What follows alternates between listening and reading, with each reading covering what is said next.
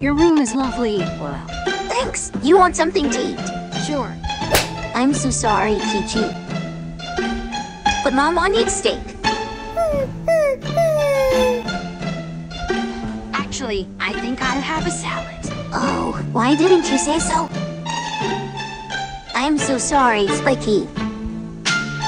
But Mama needs salad. You know, I'm not really hungry.